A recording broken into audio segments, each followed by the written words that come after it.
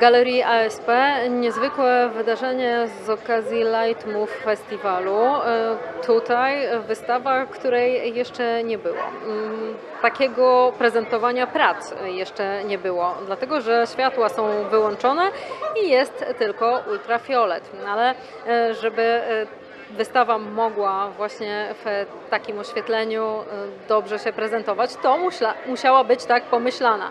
Musiała e, być gdzieś e, tam tak przygotowywana, wszystkie te prace, żeby mm, potem była taka możliwość. I to właśnie zrobił e, Piotr Skowron, e, autor tej wystawy. Tworząc swoje prace gdzieś e, z tyłu głowy, jak sam mówi, miał taki pomysł, żeby można je było prezentować właśnie w świetle ultrafioletowym i to się tutaj udało. Niezwykły efekt, bo te prace inaczej zupełnie wyglądają w świetle dziennym i teraz e, przy tym oświetleniu, które jest wieczorem. I tak naprawdę wypadałoby tę wystawę obejrzeć e, dwa razy. Raz właśnie e, za dnia i raz w nocy, ale wszyscy, którzy tutaj wieczorem i w nocy są na Piotrkowskiej z okazji Light Move Festiwalu, oglądają ją właśnie w takiej wersji, właśnie taką świecącą, wibrującą, drgającą mm, w tym oświetleniu ultrafioletowym. I to dobrze, bo y, to jest y, inne podejście trochę do sztuki, ale bardzo interesujące.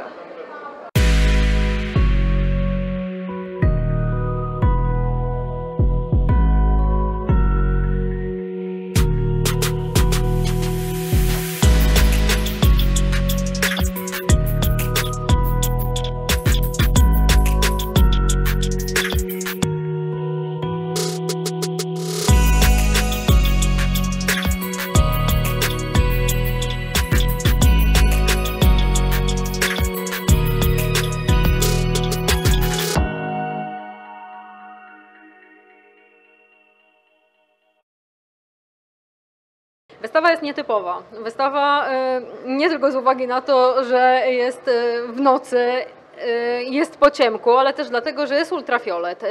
To się wszystko świeci, to wszystko wibruje. Drga. Drga, wibruje. Ten tytuł jest nieprzypadkowy. Ale cofnijmy się do początku, do powstawania tych prac, bo to jest takie pytanie, które ja sobie zadawałam i na pewno wszyscy sobie zadają. Czy te prace już y, u powstania były pomyślane, żeby były prezentowane po ciemku, z ultrafioletem i żeby ten efekt był taki, jaki jest? Pierwsza wizja e, działania z farbami fluorescencyjnymi nie była obliczona na to, żeby pokazywać e, te prace w ultrafiolecie.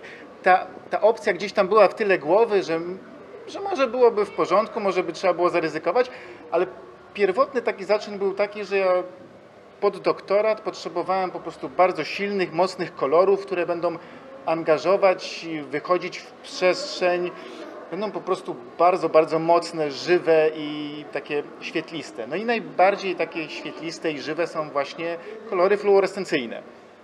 Więc jakby to była taka pierwsza fascynacja.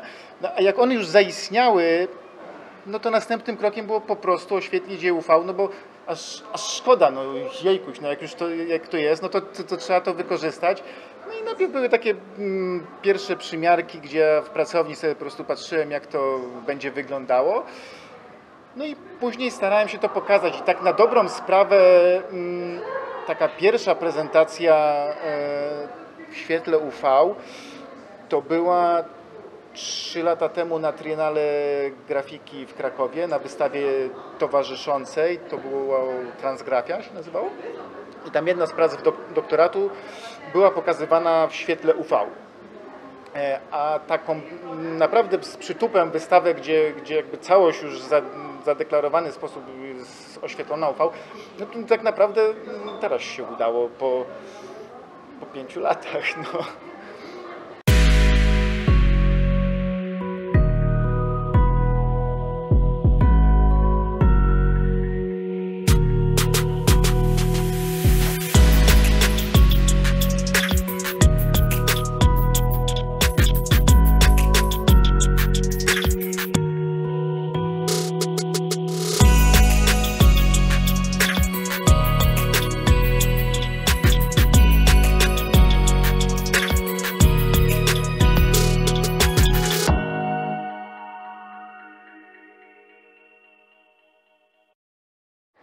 To jak powstają te prace, bo to są grafiki. E, Jak ktoś wie, jak się robi grafiki, to zaczyna się zastanawiać, e, jak się kolejne warstwy nakłada jeszcze e, w takich kolorach, to jak bardzo trzeba wstrzymywać oddech, żeby nie popełnić błędu.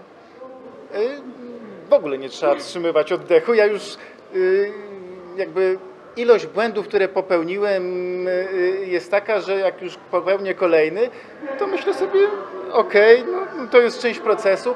Także y, te grafiki powstają tak, że to są unikaty. Y, Więc one z założenia w tyle głowy mam to, że w którymś momencie błąd się po prostu pojawi i trzeba sobie będzie z tym błędem jakoś radzić.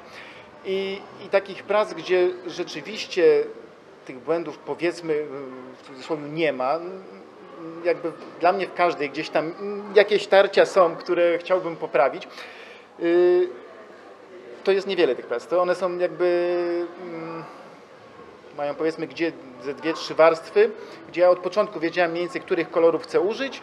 Stricte się trzymałem jakby wąskich, bardzo ten, ten i ten założeń, te kolory i już koniec. Więc jest tych druków mało i wtedy nie było tego procesu, o pojawił się błąd, no to robimy dalej. Ale tak naprawdę y, ja już się do tych błędów przyzwyczaiłem i nie to, że na nie czekam, ale one są takim dodatkiem, który który mnie niesłychanie inspiruje, bo, bo to jest taka, taka gra z materią. No już jest dobrze, już to, to jakoś zaczyna wyglądać, powiedzmy to takie malarstwo graficzne, ale człowieka korci, no może jeszcze jedną warstwę bym tutaj dołożył, zobaczymy co będzie. I nagle jest, och, było je nie dokładać, no, albo było je dołożyć inną, ale no nie tą. I wtedy, wtedy trzeba coś zrobić, żeby, żeby to zaczęło grać. Tam jest parę takich prac, które bardzo, bardzo długo mi tak się nie, nie układały. No, no, ciągle mi tam nie pasowało, aż w końcu jakby któraś z warstw dodana i nagle było, o, okej, super, no w końcu... Uratowałem. W końcu tak, w końcu to, to zaczęło grać tak, że już nie chcę tam nic dodrukowywać.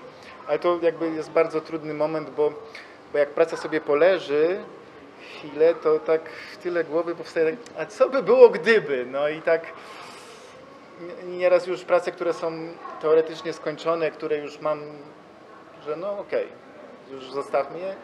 Ta, ta, ta ciekawość wygrywa, żeby, żeby sprawdzić, co, co, co, jeszcze by mogło się tam zadziać. Ja malarzy y, często właśnie o to pytam, czy, czy mają taki moment, w którym wiedzą, że tam już na pewno y, pędzel się nie pojawi. Grafików jeszcze o to nie pytałam, ale to jest taki moment, że, że człowiek mówi nie, no dobra, no trzeba powiedzieć sobie dość, bo można przedobrzyć.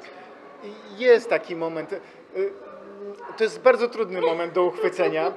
Jednym z takich aspektów, który mówi to już dość, to jest ilość farby, która jest czasami już jest tego jakby tak dużo, że wiadomo, że po prostu każda następna warstwa się, się nie uda, bo jakby warstwa na warstwie to tam się tworzą takie no, słupki tej farby, że po prostu się już nie przedrukuje tak, żeby, żeby to dobrze wyglądało, więc no, to jest taki techniczny aspekt zakończenia sprawy. Ale tak naprawdę jest to bardzo trudna sytuacja, kiedy powiedzieć sobie dość. I to tak, to się ciężko udaje, bardzo ciężko i właściwie zazwyczaj się nie udaje. Mam wrażenie, że powoli zaczynam teraz jakoś dojrzewać po jakimś tam dłuższym czasie do tego, że niektóre prace można już odłożyć i, i powiedzieć im dość. No ale to tak naprawdę w trybie pracy, który mam, no to właśnie jest to ciężkie, bo, no bo strasznie ciekawi, co, co ta kolejna warstwa wniesie do pracy. To, no to jakby te grafiki nie powstają w nakładzie. Czyli ja mam otwartą możliwość tego, że mogę swobodnie na nich eksperymentować i, i, i po prostu korzystam z tego. No.